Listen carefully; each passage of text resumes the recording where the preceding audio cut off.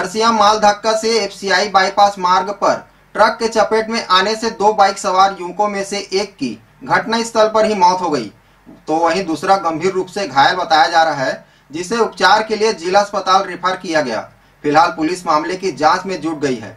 रायगढ़ ज़िले में खरसिया माल धक्का से एफसीआई बाईपास रोड पर ट्रक के चपेट में दो युवक आ गए। बताया जा रहा है, मृतक का नाम सूरज पटेल, घायल व्यक्ति का नाम महेश्वर पटेल था।